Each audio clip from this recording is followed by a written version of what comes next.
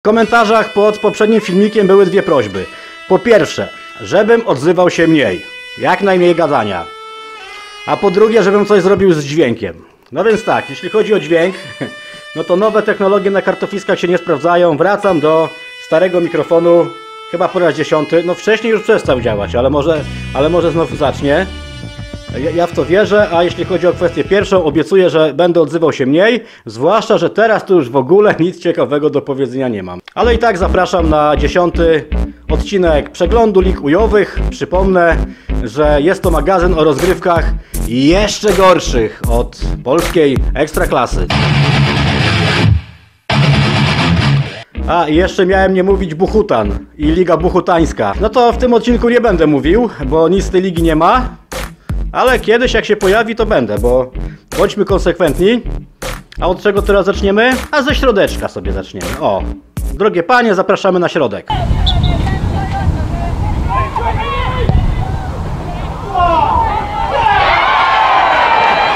Ha, ha, ha.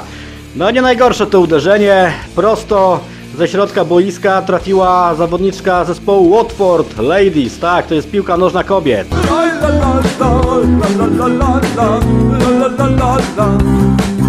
Mocne uderzenie na początek w wykonaniu niewiast. No to teraz, no faceci, żeby to przebić, to musieliby chyba kopnąć z metrów, no nie wiem.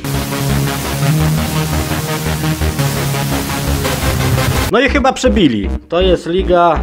Ba, to nawet nie jest liga. Bo to był mecz towarzyski, e, sparring na Dominikanie.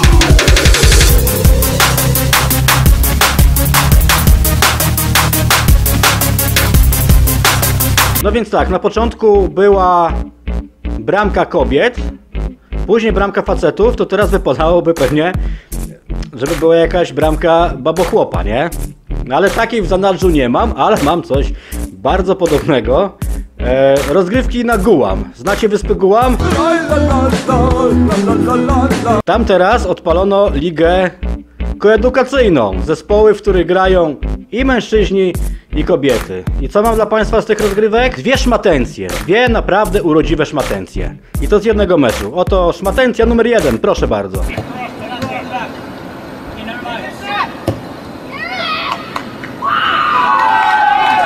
A teraz przed Państwem wystąpi szmata numer dwa.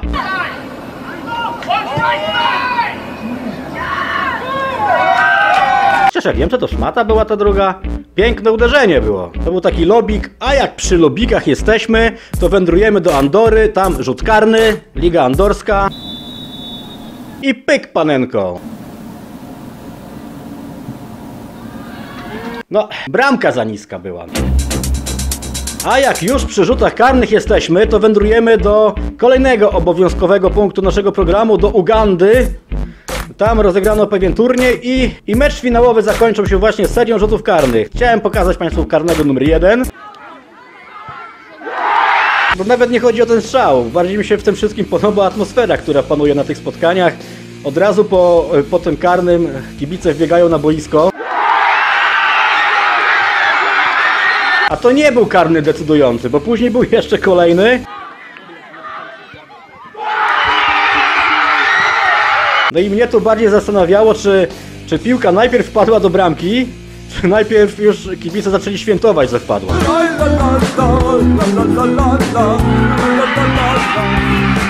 No i w sumie nie wiem, ale, ale atmosfera na tych meczach w Ugandzie jest jak dla mnie przednia. Miałem gadać mało, a chyba trochę ględzę, więc teraz szybciutko wędrujemy do Tanzanii, a tam przypatrzymy się pracy greenkeepera. Guaylao, yes!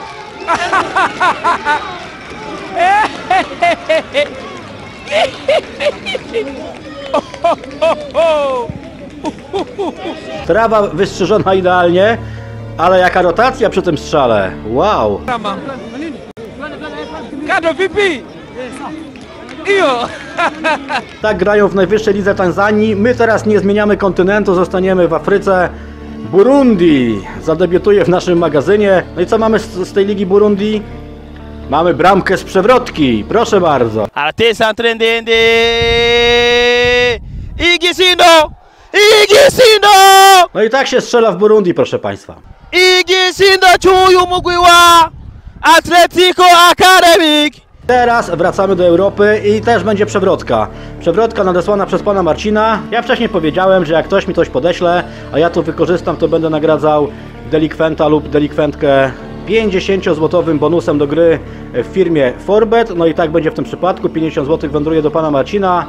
A to jest liga druga chyba węgierska, no i też trafienie. No najgorsze nie jest, no. Szívej beteszik középre, inkább az utóbbi tárgya, megpattanó labda. Oh!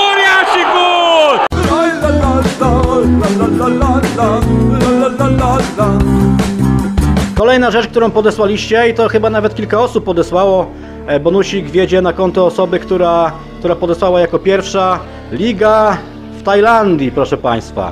I teraz będzie pytanie, kto to kurwa strzelił?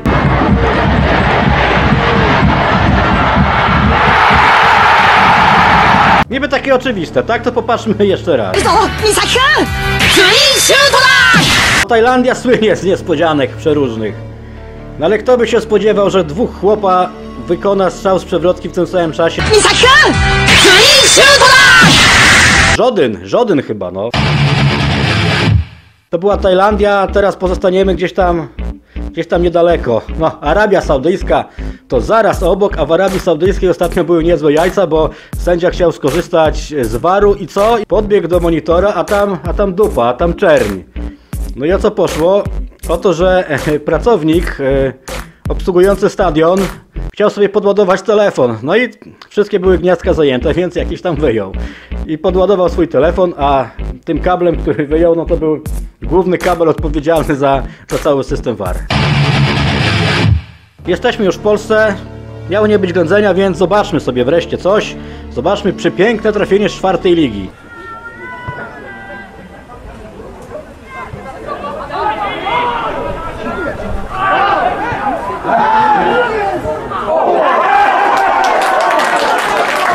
To jest mecz Radomiaka 2 Radom z Mszczonowianką i to jest bramka jak dla mnie 10 na 10.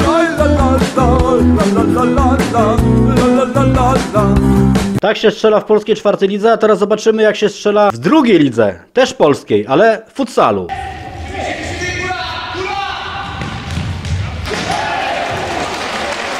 No podobnie się dość strzela, można powiedzieć, że to taka nasza polska myśl samobójcza. O, polska myśl samobójcza.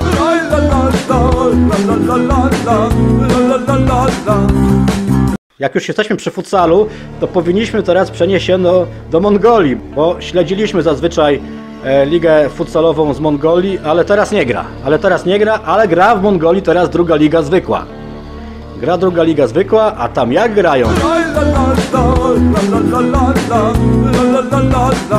Jak dla mnie perfekcyjna praca golkipera.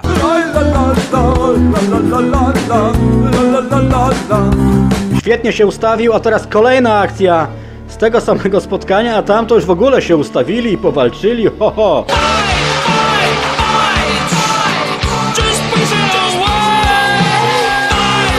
Walka na całego. Tak to wygląda w drugiej lidze mongolskiej.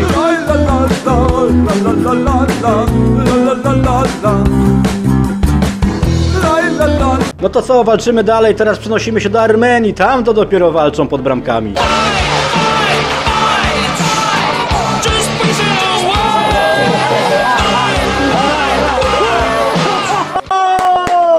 Polsce jak będą walczyć dopiero. Tak, wracamy do Polski. Na Twitterze Andrzej Padewski, to chyba jest wiceprezes PZPN-u, zapowiedział, że trwają prace, aby w przyszłym sezonie odbył się Stolec Cup.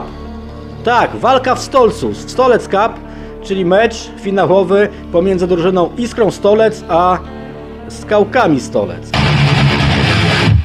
A jeśli chodzi o jakieś poważne turnieje w Polsce, to 18 stycznia we Wrocławiu odbędzie się Football Cup.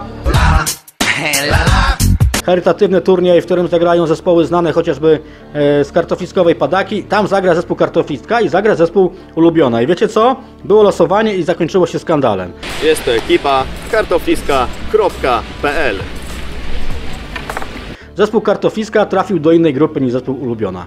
Powinniśmy się obrazić, obrażamy się, ale zagramy w tym turnieju. 18 stycznia we Wrocławiu charytatywny turniej Football Cup, tam zagramy. Dobra, koniec tego ględzenia. Miało nie być ględzenia, a było tego ględzenia. W... Przepraszam. Przepraszam, że w ogóle ten odcinek powstał.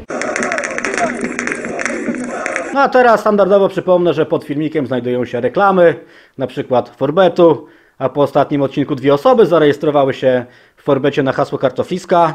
Dziękuję bardzo, bo ja rozliczany jestem z tych rejestracji. No i zobaczymy jak będzie tym razem.